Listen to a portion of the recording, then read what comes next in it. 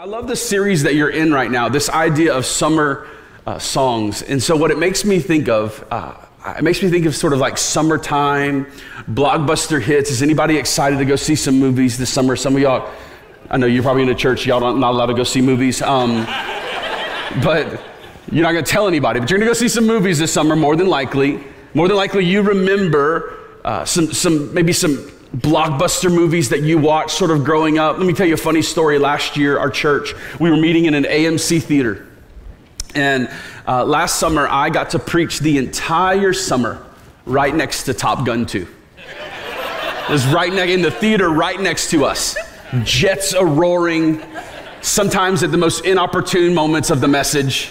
We were taking it down, you know, real, real slow jam moment, and you know, so uh, but maybe for you, you think about summer blockbuster movies. Maybe you're like me and, and it's not the movies that you think of, but you think of like summertime jams, like hits. You, you think of songs. Here's what I love about music uh, a certain chord, a certain melody actually has the ability to transport you through time. Is there anybody here that you remember you've had a moment where you've heard a song and it took you back, it took you back in time and you remember everything sort of that was going on? You remember the feelings? You ever have a song give you a smell? You ever hear a song and now your other sense kicked in and you could smell cool breeze, you could you could smell summer air, you could smell her perfume. Come on somebody. Songs have the ability to do that. And what I want us to understand is that in the scriptures, God's not immune to that. God, God knows how He wired us and how He built us. And in the middle of our scriptures, we have the Psalms. We have a collection of melodies. We have a collection of poetry. We have a collection of reflection and, and hearts being poured out. And the Psalms for the church, historically, throughout the centuries, have been the place that the people of God go to learn how to pray to learn how to worship, to learn how to encounter God in and through their emotions. Here's one of the things I want you to be real clear about and understand and embrace this fully. God gave you all of the emotions that you have. And I heard one real, real wise person say this before that for every emotion and circumstance that you have in life, there is a psalm to go with it. Everything that we're going to encounter, we can find the Psalms giving us a sense of peace, a sense of security, a sense of direction. Let me just give you a quick word. This isn't even in the notes, this is just extra about your emotions. Don't trust them things. We've graduated, hopefully, beyond the place that our emotions are driving the vehicle.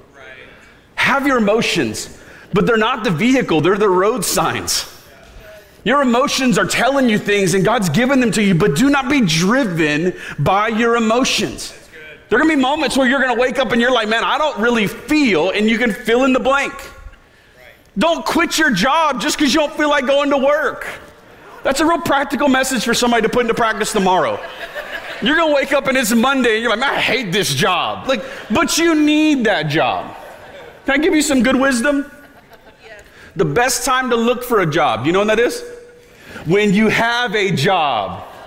Don't go quitting for you've accepted another job. That's just the word from the Lord. Take that today. Turn your Bibles with me to Psalm chapter 91. We're going to take a psalm. We're going to, we're going to read it. We're going to consider it today. I think it's got something to say to us and for us. Are you ready for God's word? Psalm 91, it says, He who dwells in the shelter of the Most High will abide in the shadow of the Almighty. I will say to the Lord, my refuge and my fortress, my God in whom I trust, for he will deliver you from the snare of the fowler and from the deadly pestilence. He will cover you with his pinions. Under his wings you will find refuge. His faithfulness is a shield and a buckler. You will not fear the terror of the night, nor the arrows that flies by day, nor the pestilence that stalks in darkness, nor the destruction that wastes at noonday. A thousand may fall at your side, ten thousand at your right hand, but you will not, but it will not come near you. You and you will only look with your eyes and see the recompense of the wicked. Because you have made the Lord your dwelling place. The Most High, who is my refuge, no evil shall be allowed to befall you, no plague come near your tent, for he will command his angels concerning you to guard you in all of your ways, and on their hands they will bear you up, lest you strike your foot against the stone. You will tread on the lion and on the adder, the young lion and the serpent you will trample under your foot. Verse 14 and 16. Because he holds fast to me in love, I will deliver him. Here, this is God's promise. Because he, you and I, hold fast to him in love, he will deliver us. I will protect him because he knows my name. When he calls to me, I will answer him. And I will be with him in trouble. And I will rescue him and honor him. With long life, I will satisfy him and show him my salvation. Let's bow our heads and our hearts today. Heavenly Father, we thank you and we praise you. We thank you for your word. It is indeed a lamp unto our feet and a light into our path. So, God, we pray now in the next few moments you would open our ears to hear thy grace, that you would tune our hearts to hear the melody of heaven. We don't have to leave this place today the same as we walked in. And so, what we need is the Spirit of God to speak to us deep unto deep. Lord, use me if you can. And if you can, in spite of me, Holy Spirit, move among your people, minister to your people. God, for that, we'll be quick to give you the praise now and forevermore. And all God's people said, Amen. If you look at the psalm that precedes this one, Psalm chapter 90, it, it seems to speak of the, the brevity and the devastation that happens in life. But Psalm 91 wants us to be very, very clear that when you and I, when we dwell in the presence of God, that there is a protection, there is a comfort. If you were to read Psalm 90 and then Psalm 91, you, you might, if you are cynical in nature or even critical in your mind, you might say something like this Those passages of Scripture seem to me that they're contradicting one another. And I want to invite you into this, this space of tension. Not contradiction, but tension, because you and I know this that life is complex. You know, one of the things that I can't stand is when someone will try to simplify very, very profound feelings and emotions and experiences in your life. Have you ever been through something and you were pouring your heart out to someone and your pouring your heart out was like minutes in nature and their response was like a quick tweet or thread? You ever have a moment where you're talking to someone and they're like, oh, tr- trust God? Thanks, dummy. I know trust God. What I needed was something a little bit more. Psalm 90 and Psalm 91 seem as if they might be at odds, but I would obviously, I would offer you this morning that I don't think they're at odds at all. I think they're at tension. One of the beautiful things about music and melody, you're not playing sometimes when you create chords, you're not playing the same exact note over and over again, but there's a collection of chords that bring the sound some of us, if we're not careful, we've been thinking that the sound and the melody of the Spirit was only supposed to be one thing.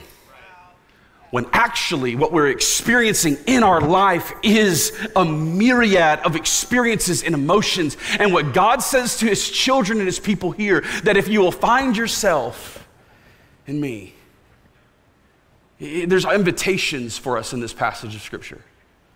If you were to break out the text, there, there's three invitations. One is an invitation to God's presence, the second is an invitation into God's protection, and then third, there's this invitation into God's promise. An invitation, I, I love that thought. I, I've been considering that for a while now that when the, when the Spirit nudges us, when, when God sort of, sort of calls out to us, even in moments of rebuke, I know some of you here in the, in the room, and you're maybe new to faith, but some of you are, are older in the faith, and, and you know about a good rebuke from the Lord. Ever have the Holy Spirit just sort of get in your car and say something to you?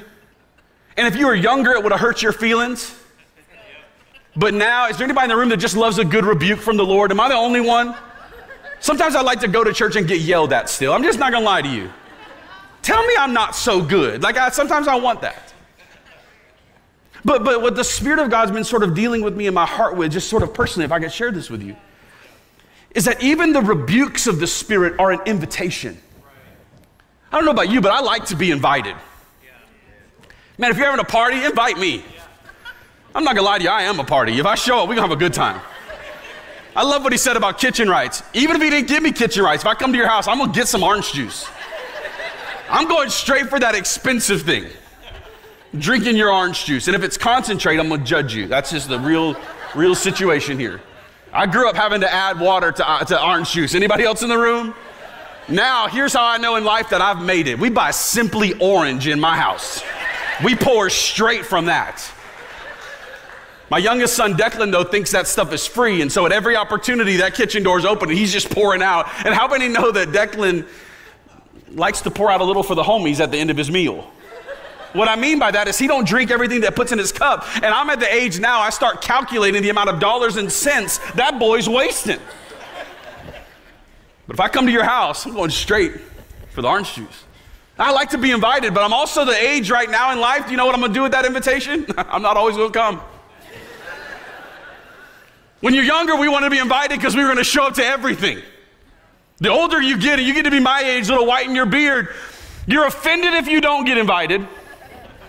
But just because you invite me don't mean I'm coming. That's just a word to anybody else. If you invite me to your wedding, I ain't coming. I've been to all the weddings I'm going to. I got three more weddings that I'm going to. One of them I'm gonna pay for. That's it. There's only been in, in, my, in my life, listen, the last 21 years I've been married, not counting my, my wedding, there's only been three weddings that I've stayed the entire time. I'm doing a wedding for somebody in our church a few weeks ago. They're, they're very excited. I'm excited for them to get married. I remember how fun that is. And I told them straight up, I'm gonna perform the ceremony.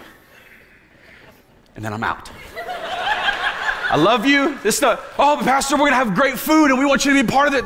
I'm sure you are. Sure you are. But I'm rolling by Chick fil A on the way home and I'm gonna be excited about those 12 nuggets and that lemonade. An invitation. An invitation says, Come, stay a while. An invitation says, Hey, man, you I want you to be a part of this.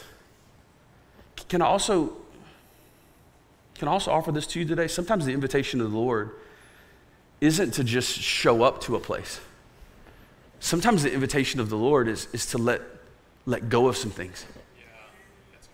You see, sometimes the invitation of God is, is getting us out of the places and the positions that we've gotten ourselves into. Anybody in the room grateful for the grace of God that gets you out of situations that you got yourself into in the first place? So, as we consider the text, if you're taking notes, there's a couple things that I, I want to highlight for you. And if you're writing it down, maybe you'll write it down simply like this. The first one is this come and sit and stay a while. If I'm titling the message, that's what I would title it. Come sit and stay a while. I can hear my grandmother's voice as I, as I say that. I come in the house and have my shoes still on, maybe backpack on or, or whatever, and I come in and my Mimi would always say to me, say, hey, come sit and stay a while.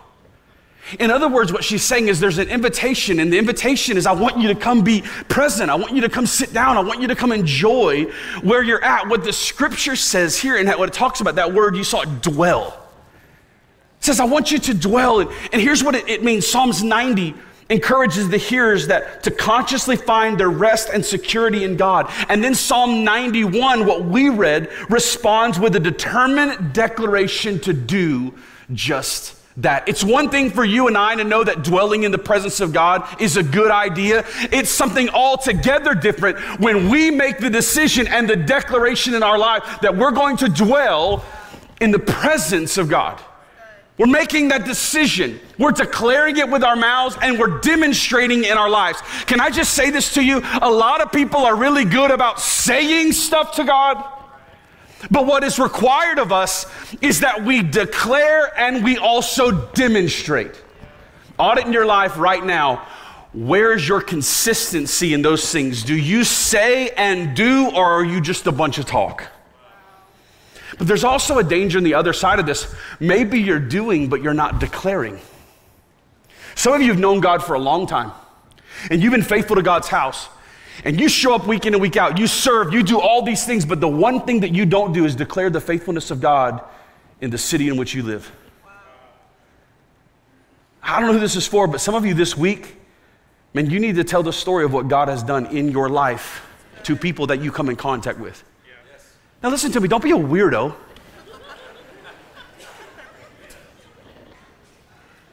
But, but do it from a place of, of, of genuine. You and I both know when people are faking it. How, how are you doing? I'm blessed and highly favored. And get out of here. be, be able to be authentic and real. I, I want you to think about dwelling in, in this sense. And as I was thinking about this, there, there are visitors. The visitors are people that come by every now and then. It's good to visit, isn't it? Good to come by, say what's up. Good to steal a good meal. Good to grab a glass of orange juice from your neighbor. Visiting's great. And you have visiting, and, and then you also have neighbors. Neighbors are, are in closer proximity, aren't they? Visitors might live somewhere else and then they come, but a neighbor kind of lives close in proximity. But neighbor, that's not what God asks us to be. He doesn't ask us to be a visitor, He doesn't ask us to be a neighbor. He asks us to be a resident in His presence. And what's the distinction and the difference? To be a resident in God's presence means that my address is the presence of God. Let me help you. This morning, some of you, you have made your address your pain. You've made the address of your life what happened to you in the past. Rather than that, what God is inviting us to is to change our address and allow the address of our life and our soul to be rooted in the presence of God. He says, I want you to dwell in the presence of God. I want you to abide. And that immediately begins me to think about John chapter 15, verse 4. The scripture will be here and we'll look at it, but he says this. This is Jesus' words. Listen to the invitation. He says, Abide in me and I in you. As the branch cannot bear much fruit by itself unless it abides in the vine, neither can you unless you abide in me. I am the vine, and you are the branches. Whoever abides in me and I in him, he it is that bears much fruit. For apart from me, you can do, what does it say? Nothing. Can I just confess to you that there's been moments and seasons of my life that I've tried to do things for God without abiding in God? And can I just tell you that those seasons are tiresome? Maybe the invitation for some of you is to abide, it is to dwell, it is to find your identity and your purpose through the lens of who Jesus is. Because to accomplish the purpose and the plan that God has for your life apart from Him, the scripture says that we won't bear fruit. The scripture says that we don't have the ability to produce the thing that God has designed us to produce. Apart from Him, we can do nothing. The ideas of dwelling and resting that we see in the text have these sort of undertones that it is going to be consistently done and it is going to be permanently done. God's invitation to dwell in His presence is not come by if you feel like it. We're going to be here all afternoon, so if you're not busy, come on through. We've all given that invitation out to friends, haven't we? Hey, I'm throwing something on the grill. If y'all want to come through, that's great. Grab ice before you come over. That is not the invitation that God gives us. He says, I want you to dwell, I want you to be there consistently, I want you to be there with an attitude of permanence. The second thing I want us to consider as we, as we think about this text, it's really a question. Do you focus on where or who? You see, the Bible talks about dwelling, and in the dwelling and in the abiding in God, there is a benefit and a byproduct that is rest. So, when you and I, when we think about rest, do we think about it as a where or do we think about it as a who? I heard this phrase a few weeks ago and I, and I love it.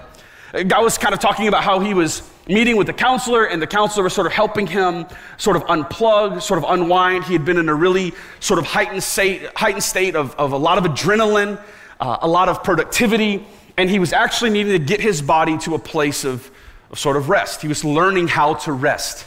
Now, I know this isn't for anybody in this room. All of you here probably just kill it when it comes to rest. But maybe you can say this for your neighbor. This point might be for your neighbor. He, he, says, he says to him, and I love this question. He said, Where are you toes in the sand? He said, Where in your life are you toes in the sand? And toes in the sand means completely unplugged. You're able to be at rest. He says, So what is that? And so he starts giving some examples and he starts talking. And, and as a good counselor, the counselor begins to sort of poke on some of the things that he says because there's sort of those contrite answers. Oh, when I'm with my family, it's toes in the sand. Not always. You got a teenager in your house? Sometimes those teenagers aren't toes in the sand. Can I get an amen from the church? Any teenager in the room that would say, hey, when you're around your parents, not always toes in the sand. Easy, Caden. He says, toes in the sand is this place where you can be you, free from expectation, free from demands, a sense where you can relax. And the challenge is this you and I realize that in our life, we have to get rest in physical area of our life. We have to get rest in mental spaces, emotional spaces in our life, relational spaces. Some of you right now, you're so fatigued and tired because you're around people all of the time. And sometimes you're around people all the time because you are not willing to be with God alone. Because the moment you enter into a place of silence, you enter into a place of solitude, all the stuff flies to the front of the car. And you're, you're not equipped or ready to deal with that. And I just want to call attention to that because there's an invitation for you to dwell in the presence of God, to abide in Him, and begin to learn how toes in the sand isn't just a place, but it's actually a person. Toes in the sand, friend, for us is found in Jesus. The writer of Hebrews says it this way that there is for God's people another type of rest that we can enter into. One of the commandments that goes sort of overlooked time and time again is the command for us to Sabbath, to rest. God built it in. God went to work for six days and then he takes a day off. He rests. And here's the beautiful thing the very next week starts what? Not from a place of work and productivity, but it starts from a place of rest. Some of you in your work, you've lost that edge, you've lost that tenacity, and some of it isn't because your skills are becoming outdated. It's just because your soul hasn't rested in a while. Some of your marriages, what you need is not a divorce, you need a Sabbath. You need a rest. You need to stop striving, cease from, from productivity. And in your resting, what you are acknowledging to God is, I am not you. There's always going to be things on the to do list. There's always going to be other hills and mountains to climb. Sabbath is a discipline and it restrains us. Why? Because without it, we burn out. Without it, sin is crouching at our doors. You know that it's easy for you and I to step out of bounds with God when we're fatigued, also when we're hungry, when you're hangry. Some of y'all know what that means. My wife gets hangry, can see it coming. I'm like, baby, we're gonna get you a snack. We're gonna get you one right now. And God's inviting us into a place of rest into a Sabbath. And so, the question to ask and to consider for yourself this morning is Have you turned this idea of rest as into a place? Meaning, and some of you have been saying this, man, if we can just get to this vacation spot, man, it's gonna make everything all right. Some of you have found this, right? You've gone on vacation and you came back more exhausted than when you left. Or some of you, you get to a place and it's a time and a season to rest and you're not able actually to rest because you don't know how to unwind. And here's the trick God has prescribed for us and commanded us in His Word to weekly learn how to rest. You say, Charlie, I don't know if I can do that in my life. I don't know if my finances can afford that. I don't know if my job will allow it. And, and listen to me, I, I love you. I love you. I've been here a few times now. Love you. Hear me on this. You either believe God's word or you don't. And for some of us, we would love to go to the ends of the world to prove our devotion. but we don't want to exercise restraint to demonstrate our devotion and our decision to dwell in the presence of God. And so, again, is, is it a place when you think about rest? Think about this immediately. When you think about rest, did you think about a place, an activity, a thing, or, or did you think about a person that Jesus desires to give you his rest? He says, Are you weary? He says, Are, are, you, are you heavy laden? Are you carry, carrying burdens that are too much for you? One of the lies that the enemy sort of permeates in, in environments like this is that you've got to have it all figured out before you come to God. And Jesus' word says, listen, if you're broken, if you're tired, he said, why don't you come on that way? He said, to make this exchange and allow your life to take on my yoke. Here's a phrase that we use in our church and in our life a lot. Man, we want to operate at the grace and the pace of Jesus. Here's a question for you Are you weary because you're carrying a burden that God didn't ask you to?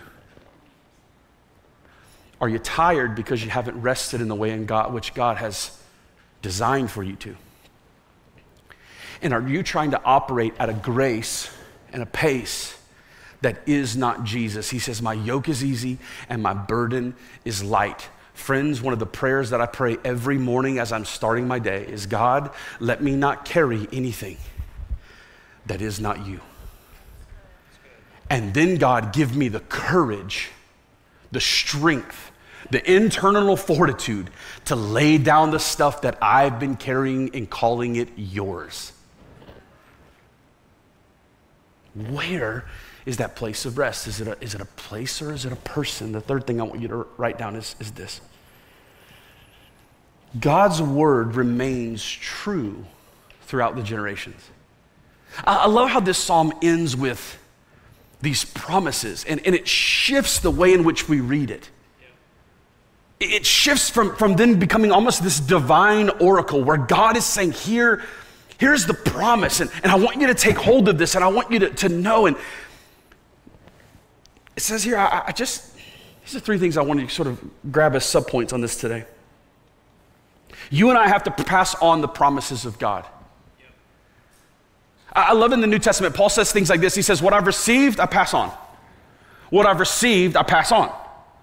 So think about this. What have you received from God? What blessings, what grace, what miracle has God done in your life? Then you, your responsibility is to pass that on. That happens this way I'm going to tell the story, I'm going to testify to what God has done, and I'm going to keep it moving. Some of you have a great heritage in the faith. Some of you look down and you're similar to me, you look down your family tree, and it's just a bunch of church folks. And listen, church folks also can fight in the streets, right? So let's just be honest. But the heritage in my, in my family, I'm grateful for it. My grandmother is, is getting up in age, and so she's in her 90s now, and so there's not any time that I spend time with my Mimi where she doesn't say this Hey, if it wasn't for me, none of y'all be in church. I was like, Mimi, I think the family tree was before you, but all right, I get it. You're taking credit. Praise God. I have a heritage, and I'm grateful for it. My kids are going to have that heritage. My, I'm going to pass this on to my kids. But some of you in the room, you don't got a heritage in the faith. It's starting with you. You're like, ain't nobody in my family saved. You're like, honestly, it'd be a miracle if they showed up in this place. And what if the miracle of them showing up in this place comes as a byproduct of your willingness to pass on what God has done in you? So it's got to start somewhere. So listen, we've got to pass this word on. It doesn't just happen, it's got to be given. We, we pass it on. And you also can't give away what you don't have. You find it hard to testifying to the goodness of God. Maybe you're not living in relationship with God like you thought you were. Because when I'm talking about testifying and passing on, it's not a head knowledge of God. I do not want to be a person that has just studied God theologically and looked at God academically and not had any encounter with God on a personal level. I don't ever want to preach as a professor. Yes, I want to study. Yes, I want to show myself approved. Yes, I want to have all those intellectual sort of wrestlings with the text. Please don't hear me not saying that. But I do not want to turn God's word just into some sort of classroom and experiment. We're called to encounter and experience. You and I, we got to pass this on. It's got to start somewhere. And so if you don't have a heritage, that means it's starting with you. Some of you need to hear this today. You need to step up into that place. You're not a victim anymore. You're not damaged goods. You've been bought and paid for with a price. And stop allowing the enemy to, to overwhelm your mind and rip you away from dwelling in the presence of God just because you're the first person in your family to get there. You might be the first, but you won't be the last. Come on, can I get an amen for that? And the third thing I want us to see in this, and this is important for us as we pass on, is don't quote the scriptures like the devil. Don't quote the scriptures like the devil. For some of you in the room, if you know your Bibles well, you know that in Matthew chapter 4 and in Luke, roughly chapter 4, Jesus is tempted by the devil. The, the, key point to understanding this is that the Spirit leads Jesus into the wilderness to then be tempted by the devil. Now, some of our theology don't have space for that. Because, like, God would never put me in a position, would He? God will never put you in a position that He's not prepared you for or provided you a way out of. But don't live in this fantasy world that God will not test you in your devotion. Because those of us that have bought the lie that God doesn't do that, the moment that testing comes, we run away. And the moment that testing comes, we go, oh, the scriptures must have just been hyperbolic. It may not be a real word, it may not be accurate, it may not be true, it may not be something I can take literally or literarily, but I have to just, that's it's gotten tough, so I've got to back out of this. When the scripture says that the Spirit led Jesus into the wilderness. And the enemy takes him up, and you can see this in Matthew uh, chapter 4, we'll read this. Says, The devil then took him up to the holy city and set him on the pinnacle of the temple, and he said to them, verse 5 and 6, If you are the Son of God, throw yourself down, for it is written, He will command His angels concerning you. And on their hands he will bear you up, lest you strike your foot against the stone. The devil is using Psalm 91 in the temptation of Jesus. And let's be honest, it seems at a cursory reading that he's quoting it correctly. Psalm 91 is provision, Psalm 91 is, is, is protection. But what Jesus responds to the enemy is, is, is beautiful. He uses Deuteronomy chapter 6 in his response. And the broad context of that passage revolves around the challenge to love God above all else. And the particular expression of devotion to Him should be displayed in trusting Him. Listen to this. Even when circumstances don't look good. So, hear me on this. Psalm 91 doesn't mean that bad things will not happen to God's people. Psalm 91 does not mean that you and I will not face the attack of the enemy. What Psalms 91 should be considered always in light of the interaction that Jesus has with the enemy. Why? Because Jesus provides us with the exemplar, if you will, interpretation and application. Another thing that we can look at that sort of gives us the same sort of rhythm is you remember the story in the Old Testament Shadrach, Meshach, and Abednego. These three Hebrew men of faith, young guys. Nebuchadnezzar's building idols and requiring for people to worship. And here's what they say to him They said, Oh, king, we're not bowing before you. He says, Listen, if you don't bow before me, I'm gonna throw y'all into the furnace. Death is imminent. Punishment is imminent. And I don't know if you've ever talked about or thought about the ways in which you want to die, but one of the top ones on my list of ways in which I do not want to die is being burnt alive. See, also followed by drowning, also followed by falling downstairs. Those are my top three in case you're wondering. I'm not built for falling downstairs. He says, Listen, if you don't bow down, surely you will die. And here's how they respond. And it's in light of what Jesus says, it's connected there, and it's the heart of Psalm 91. He says, Our God can save us. That's sort of faith that says, I'm facing this, but our God can save us. Surely He's mighty. Surely He's able. Our God can save us. And here is the crux of it all. Here's where mature faith sort of emerges in what you and I should aspire to. Our God can save us, but even if He doesn't, we won't bow. Even if He doesn't, we won't bow. And if you know the story, here's the beauty in this. They got to a place where they declared their allegiance and their devotion to God. They said, God, you can do it. But if you don't, we're still yours. We're still going to dwell. We're still going to be in your presence. We're still going to abide. We're still going to pass this on.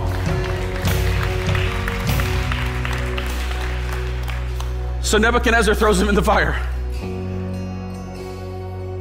And he looks into the fire. And he says, Didn't we?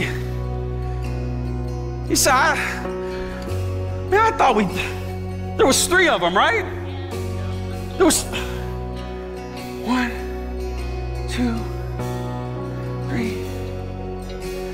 We threw three in, but there's four in there. We, we, we threw three in there, but there's four. You see, here's the, and he says, and the fourth one looks like the Son of Man. Can I leave you with this thought today, Crossroads Church? When we have a faith that is rooted in the person and in the presence of God, we say things like, I believe, and even if, and our God comes through and will dance with us in the midst of the flames. Didn't we sing that this morning, church? He's been my fourth man in the fire. Church, would you bow your heads? Would you pray with me? Father, we love you. We're grateful, God, for your goodness. Grateful, God, for your mercy. I'm going to ask you just for a moment of vulnerability. Are you in the room?